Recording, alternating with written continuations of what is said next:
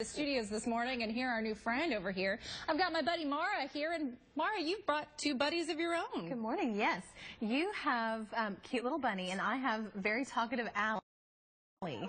Um, Allie is a Chihuahua, and she is all Chihuahua. She's fun and snuggly and cuddly and active and playful. Bunny is very chill, super friendly, just an easygoing guy.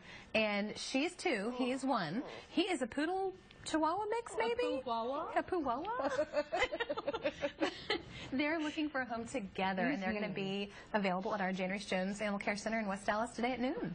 Okay. Aren't they precious? They are, and of course, like you said, we want to keep them together because they're best buddies. They are best buddies. They are. And um, and little Bunny there, he really needs a companion. Hmm. So if people want to go ahead and give these two guys a great home, what can they do? Sure, they can come on over to our shelter at 2400 Lone Star Drive today at noon and meet Bunny and sweet little Allie.